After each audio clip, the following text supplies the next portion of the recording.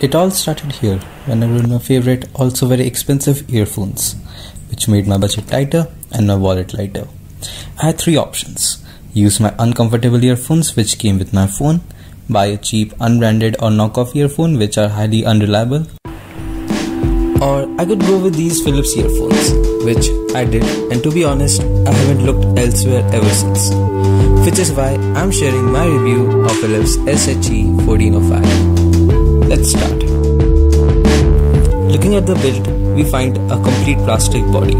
At the back, it has been given a metallic accent, where it bears the Philips branding. I would have appreciated actual metal to be there.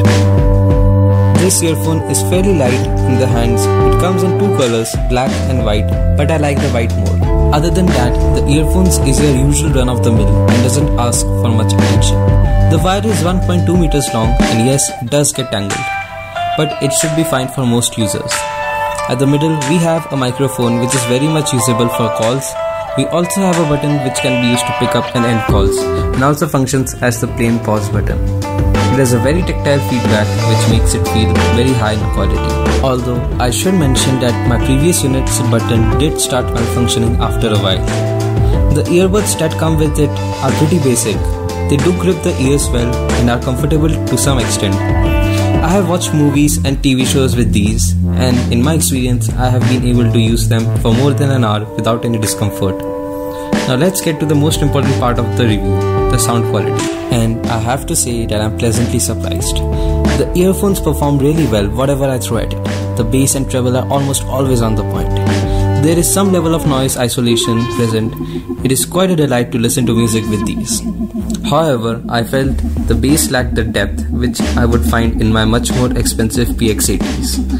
And it should be noted that it's a headphone. For example, when I heard the song something just like this on both of them, I could hear the clarity of Sennheiser while the Philips was high on treble and not having a balanced sound.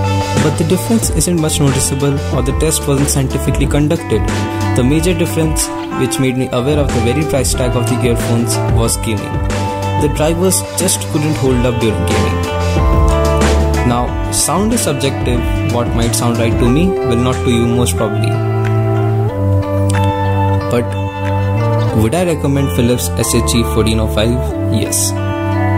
Now, I do know that it falls apart on some areas but it's the best earphone that you can buy under $10 and it's probably the best piece of tech that you can buy under $10. It has been very reliable to me and I love using it. And that is all for this video. Thanks for watching. The link to these earphones will be in the description below and I'm Arunabh Chowdhury and I will see you next week. Bye.